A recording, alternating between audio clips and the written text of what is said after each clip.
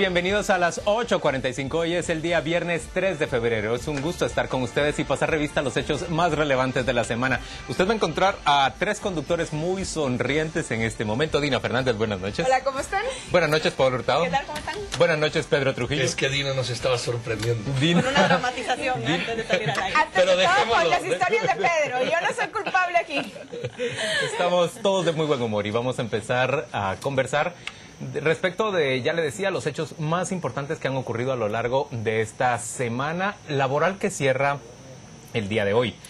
Empecemos hablando de los aprietos en los que se ha visto el ministro de Gobernación en los últimos días. Miren, por un lado, mm, encontró a la hora de realizarse una serie de allanamientos que buscaba capturar a diferentes integrantes del Comité de Seguridad de Panajachel, se encontró con que los vecinos de Panajachel se oponían a esas capturas. Dos personas que ya se encontraban capturadas han comparecido frente a los tribunales, pero los vecinos simple y sencillamente le impidieron a las fuerzas de seguridad desarrollar el operativo que ellos tenían previsto desarrollar. Finalmente, las fuerzas de seguridad, bastante eh, escasas en comparación con el número de vecinos, hubieron de retirarse antes de buscar un enfrentamiento con la población en Panajachel. Por el otro lado, bueno, solo debo decir que el Comité de Seguridad de Panajachel está acusado, es sospechoso de haber desarrollado acciones de lo que se conoce como justicia extrajudicial o, violencia extrajudicial. Más bien, se trata de incluso la muerte de por lo menos una persona que habría sido considerado sospechoso de cometer actos delictivos y por lo tanto fue o habría sido eliminado. Esa es la suposición que habría sido eliminado por integrantes de este comité de seguridad. La persecución a los integrantes de ese comité de seguridad no pudo concluirse en, en esta semana porque los vecinos lo impidieron en Panajachel. Por el otro lado, rocas del tamaño de vehículos. Impidieron también la entrada de turistas. Vimos las fotografías de los turistas cargando sus maletas para entrar a Panajachel. Y yo me sorprende que los turistas hayan querido hacer el esfuerzo de entrar a pesar de esas barricadas. Yo probablemente me hubiera dado media vuelta y me regreso y los dejo sin el negocio. sin no me interesa de- hacer turismo en un lugar en, en el un que se lugar donde produce se produce ese tipo de, de problemas. Yo y creo las que autoridades no se encuentran en control. Además Luego, no son los vecinos, Juan Luis. A mí hay probablemente un grupo de gente, pero a mí me gustaría saber exactamente cuánta de la población de Panajachel está ¿Apoya realmente- ese comité de seguridad? Exact- sí. Es difícil decirlo, supongo que serán muchos, pero yo quisiera eh, enlistar los otros problemas o los otros incidentes que han puesto en problemas, en aprietos al Ministerio de Gobernación en esta semana.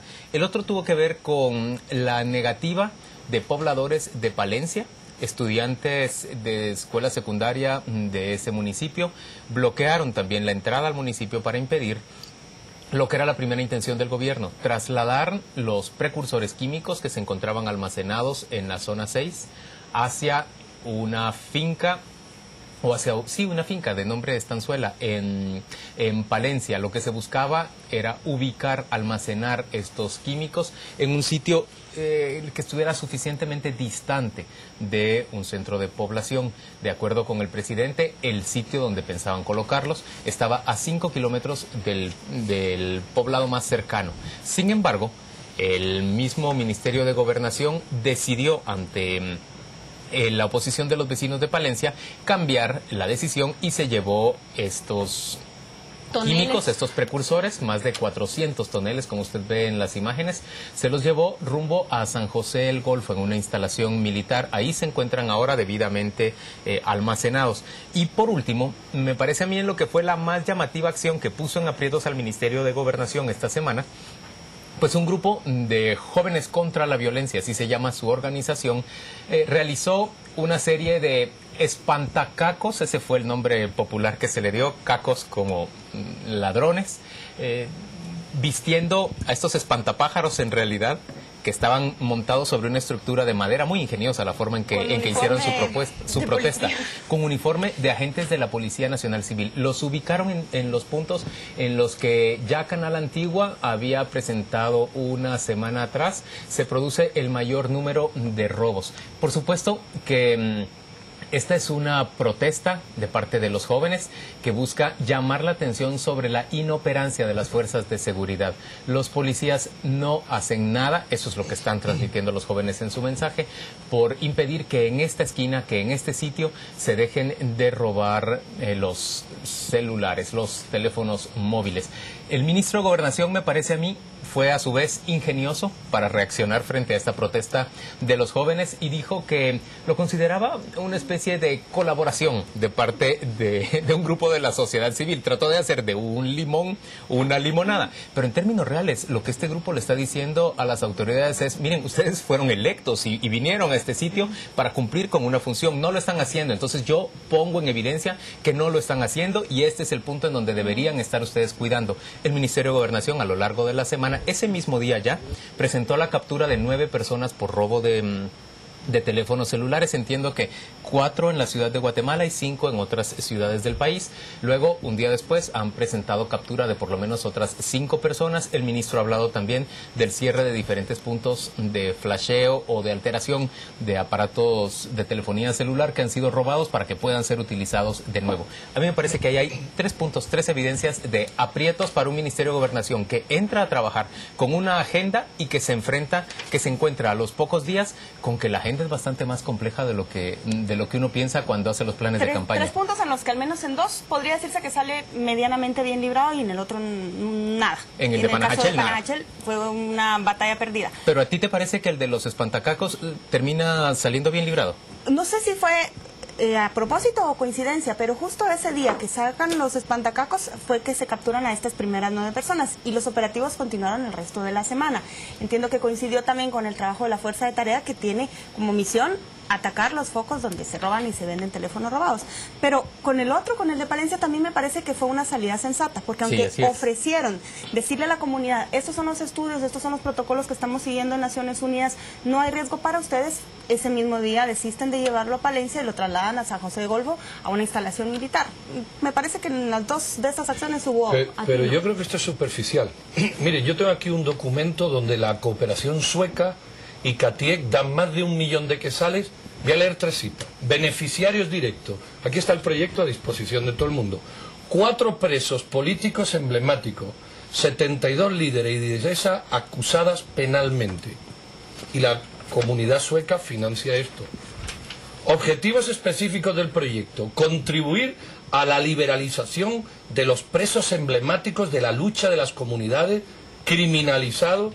Tercer punto. ¿Qué es eso? Esto es un proyecto que paga la comunidad sueca. Y está La- vigente el, el Desde el convenio. 2011, 8 del 2011. Pero no entiendo a qué No, ahora, ahora te voy a decir por qué. Voy a leer lo tercero. Persona responsable del proyecto, la hija de uno de los señalados de haber participado en la destrucción del puente Chimeneas con dinamita. Vamos a ver. Estos grupos, lo que estáis contando pueden que sean grupos anecdóticos. Este país está tomado por mafia y por ayudas internacionales inescrupulosas que pagan a grupos para que hagan esto. Y esta es la esencia del tema. Aquí habría que sentar, y ya reto yo, a la- al señor eh, eh, de, la, de la así, de la ayuda internacional sueca y al de CATIE, cómo apoyan este proyecto. Esto es subversivo, esto es delictivo. Y estos son, están dando hasta un millón ciento cincuenta mil desde el año pasado para apoyar esto. Entonces, ¿de qué nos extrañamos cuando cierran Panajachel? No lo cierra la población, creo que eso es un error. Lo cierran gente que pagan otras gente. Y hay información más que suficiente aquí constatada de ayuda internacional. Y por otro lado, del narcotráfico y el crimen organizado que pagan esto. Esa es la esencia del problema. Yo creo, Todo que, lo demás yo, es creo que, yo creo que puede ser cierto este tipo de cuestiones, pero en el No, caso... puede no, es cierto. Bueno, sí, pero eso no pero tiene eso, no, eso, eso con- No, por no, lo de que con estamos hablando de Panajachel. Y el caso San de Marco Panajachel también es muy hubo diferente. lo mismo. Es que no son aislados. Os habéis centrado en tres, pero hay 63 en el último mes. Esa es la historia. Creo yo que la falta, esta oposición de la gente a que eventualmente se ejerza la autoridad es un problema generalizado que tiene diferentes causas. En Panajachel, creo yo, es diferente, muy diferente el problema a lo que está señalando Pedro. En Panajachel es un problema que también es generalizado en el país de ah, ese vigilantismo. Estamos acostumbrados ¿Quién que paga por la- es en Panajachel, creo que la no gente creo. de Es Panajachel que a lo mejor mañana te pero tú tampoco lo sabes, No, Pedro, no, lo no sé, me lo puedes asegurar, es. entonces así. Por eso no se puede Entonces- decir, es distinto. Se puede decir, hasta ahora no hay pruebas de que sea de esto. Pero es distinto, no. Por eso que no lo sabemos. Eso es lo que yo te pretendo corregir. A ver, lo pero- lo pero que aquí la hay es un, información- un a ver, problema global La en el información país. que tenemos acerca de Panajachel va en otro en otra otro dirección, sentido, sí, en otra dirección diciendo que ¿quién completamente diferente. Es una La de Panajachel somos de- nosotros. ¿Espon Y qué? sabes que Es una organización Pedro, espontánea Pedro, de vecinos Sí. que lo que una busca cosa es... quiero decir yo. A ver. Yo quiero decir que los guatemaltecos también somos responsables de eso sin que nadie nos pague. O sea, es un problema el que las personas en Guatemala se quieran negar a aceptar la autoridad y que se quieran negar a aceptar la legitimidad de las instituciones constituidas y que quieran tomar la justicia en mano propia. Es un pro- es grave que no haya policía en Panajachel. Es grave que Sí. durante mucho tiempo no se haya atendido. Pero los guatemaltecos que han tomado la justicia en mano propia están mal, están mal y eso lo han hecho ellos solitos sin que nadie venga y les pague. Claro, Y porque, es una- porque es la una autoridad del nuestra. Estado se ha obviado, se han cerrado ojos, Claro. consciente o inconscientemente, y, Y por eso, eso no lo, y eso no lo hace menos grave, Pedro. No, no, no, no eso lo puede hace ir a matar gente en la calle porque yo la acuso de delincuente. Claro, claro, eso lo hace grave, pero lo que yo te quiero decir es, es lo que se habló aquí. Cuando un gobierno recién llegado como este pacta, como pactó en San Marcos o en un munic- o en Huehuetenango, no recuerdo, la devolución de unos secuestrados o de la devolución de unos rehenes o de unos policías para que no entraran, eso es lo peor que puede hacer un gobierno. La autoridad no se discute, se ejerce. Entonces, cuando pobladores Panajachel ponen piedra, hay que entrar con una grúa, quitar las piedras y esos señores meterlos al bote inmediatamente. Ese es el tema de estoy de autoridad. acuerdo, de estoy de autoridad. acuerdo. En eso estamos de acuerdo, pero yo tengo la impresión de que estás mezclando cosas distintas. Así es. A ver, por ejemplo... Vamos a ver, estoy No, no, no, no, permíteme que explique yo. un panorama Pedro, complejo. Pedro quiere, Pedro quiere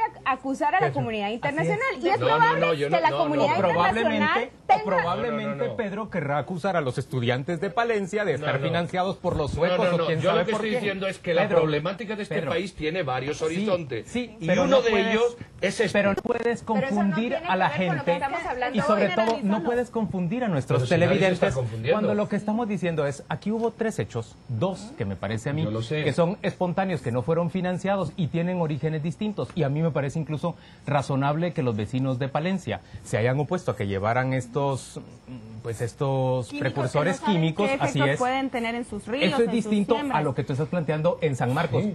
en donde yo, sé no te discuto nada. Pero el problema es el mismo. El problema es grupos que generan problemas contra la autoridad es que desde del Estado. protestar es un problema, es Hombre, una manifestación no, de pero, desacuerdo. eh, no, no, no, no, discúlpame. Llenar de piedras e de impedir de acuerdo. Sí, pero Eso es es inaceptable. Bueno, es que vosotros Pero- habéis pero- mezclado los no, tres. no. No, he sido yo. No, pero después- Aquí lo que habéis pero- metido en un paquete las tres acciones. pero, por ejemplo, Pero yo no no, he sé sido quién yo el que ha finan- metido Pero. Pedro, por ejemplo, yo no sé quién financia la situación de esta, esta organización de jóvenes contra la violencia. Yo no sé, por ejemplo, que tuviera, que no tengo ninguna certeza ni nada, financiamiento, digamos, de AID. Eh, por decir algo, que no es... Que, Pero si estaría, es que sería no tiene nada equivocado que ver, eso. Dina. No, tiene nada tú que ver. dirías, Yo dirías, estoy- vamos, vamos a, a ver. criminalizarlos, porque yo ya escuché gente que No, dice pero eso lo que, está, tú. que está... No, pero te digo que hay gente que dijo que está mal Es que... se- la ajá. causa de la No, vamos a ver, No. aquí hay dos acciones. Las protestas son legales, por supuesto. Sí. Hasta cierto punto. Entonces, el punto donde se pasa en el caso de Panajachel, donde Así se. Claro, impide el ejercicio de la libertad del ser humano por un individuo. Y ahora yo agrego, y además de esos tres, no es nuevo esto, sino que esto hay que enlazarlo con otro tipo de protestas que hemos visto. Esa- Y yo traigo a colación de esas otras protestas que parte de esas otras protestas viene dado por donaciones. Y entonces, esto, esto, este problema que ya lo tuvimos en San Marco y como Tenango, que ahora está en Panajache, va a surgir en otro sitio. Entonces yo lo que estoy sacando es un elemento nuevo que antes no se había Pero, sacado. por ejemplo, Dicho así, yo puedo estar de acuerdo. Es Nada que más que también estoy de acuerdo con el punto de Dina respecto que esa cooperación internacional tampoco debería criminalizarse. Porque, por ejemplo, si esa cooperación internacional, yo, yo tampoco tengo ninguna información, Sí. en un caso hipotético hubiera llegado a los muchachos que construyeron esos espantacacos, yo creo que en lugar de molestarnos, lo Pero si aplaudimos, nadie estamos se ha metido contentos. con eso. Yo me he metido con esto, Mira, y es con es- gente que paga actos delictivos. Este es y un hecho aparte. Y es cierto, Ese hubo comunidad punto. internacional porque la hubo que financió a los grupos guerrilleros y eso también estuvo mal, pero hubo como, eh, la comunidad internacional ha financiado cosas buenas también. Y también hubo comunidad internacional que financió inicial. las torturas, las masacres y todo lo demás en Guatemala. seguridad tuvieron que enfrentar estos tres am, frentes y indistintamente cuál fue el origen y quién los, lo financió. y los hace salir de su agenda, que ese era el punto al que yo quería llegar, pero ya ustedes han discutido por otro lado y no me han dejado. Vamos a hacer la pausa comercial y volvemos.